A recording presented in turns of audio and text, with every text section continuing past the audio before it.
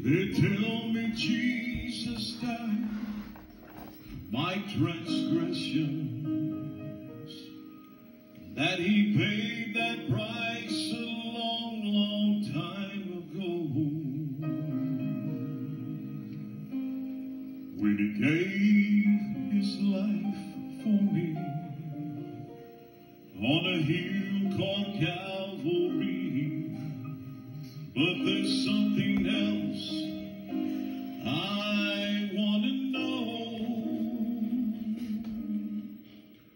Does he still feel the nails every time I fail? Can he hear the crowd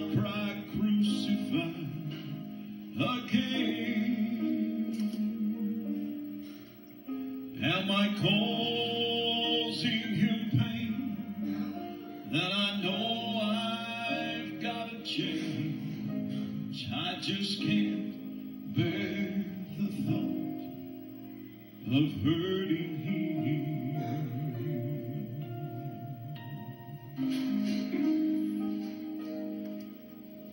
It seems that I'm so good at breaking promises, and I treat His precious grace so carelessly. Each time He forgives, what if He had to relive the agony? He felt upon that tree. Does he still feel the nails every time I fail? Can he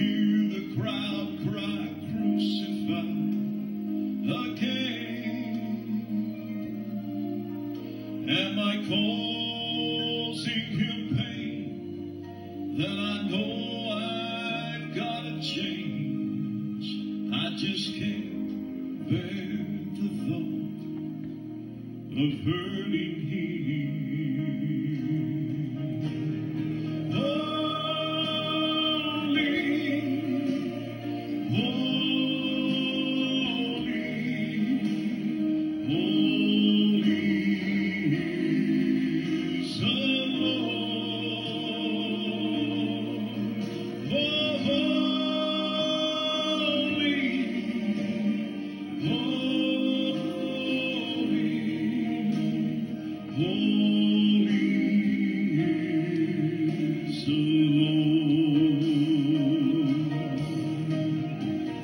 Does he still feel the nails every time I fail? Have I crucified you, Jesus, with my sin? Oh, I'm tired of playing around. Oh, I really want to change.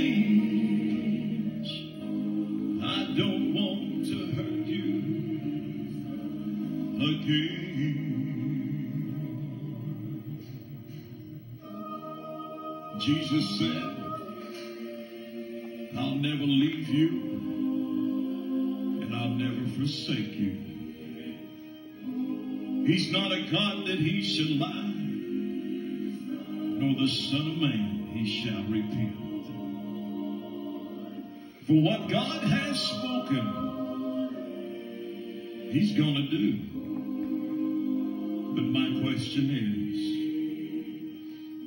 have you committed your life